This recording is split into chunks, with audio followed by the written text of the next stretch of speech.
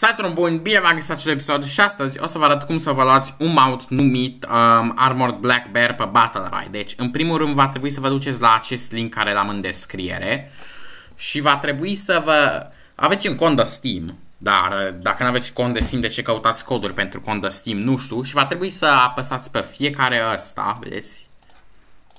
Aici, aici, și luați pe toate astea de abonare, really.